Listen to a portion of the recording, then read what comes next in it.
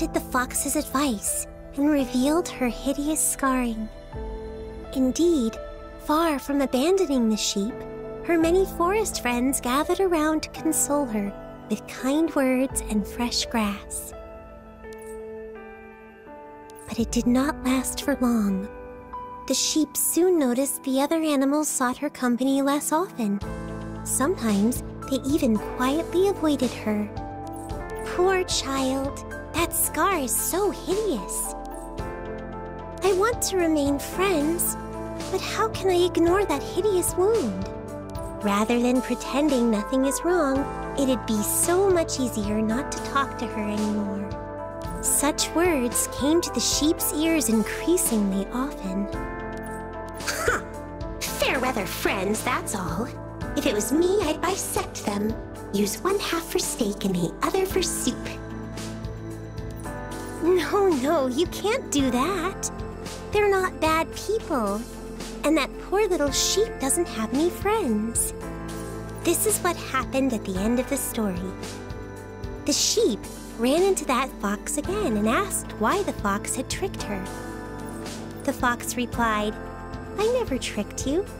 The other animals did their best to get used to your scar, but you didn't put in the same effort.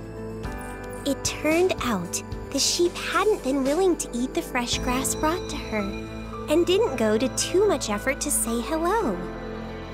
The little sheep had not realized that the injury hadn't just left a scar in her body, but also deep in her heart.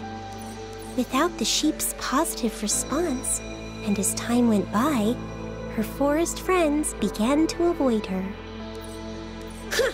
So he was trying to talk his way out. And what happened in the end? Hmm.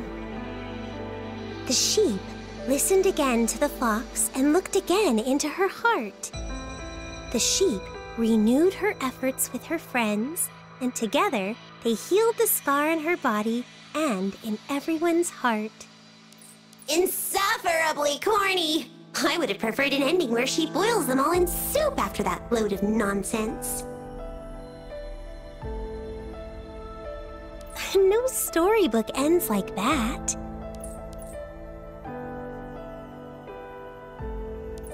All right, let's end here. I'm tired.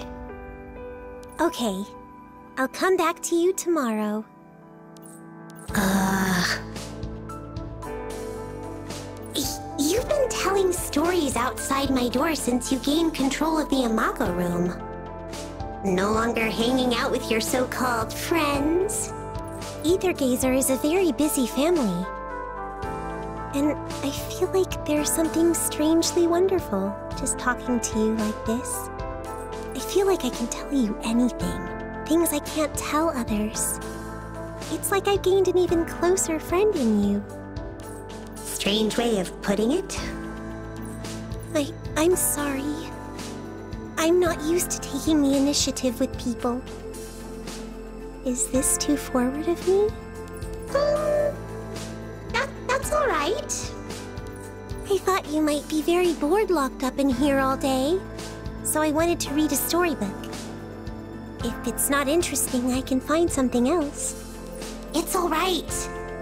Bored is bored. Not a bad bedtime story. Okay, right. Well then, see you tomorrow? Ouser, what did you say? Hmm? Guess I heard wrong. Um, see you tomorrow.